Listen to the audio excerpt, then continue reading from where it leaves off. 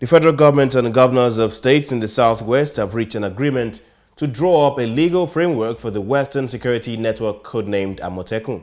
Governor of Ondo State, Rotimi Akeredolu, disclosed this to State House correspondents at the end of a meeting with Vice President Yemi Osinbajo had with the six governors from the region on Thursday.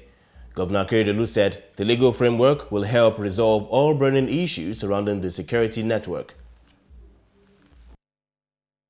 We have rubbed minds and all of us have uh, agreed on way forward.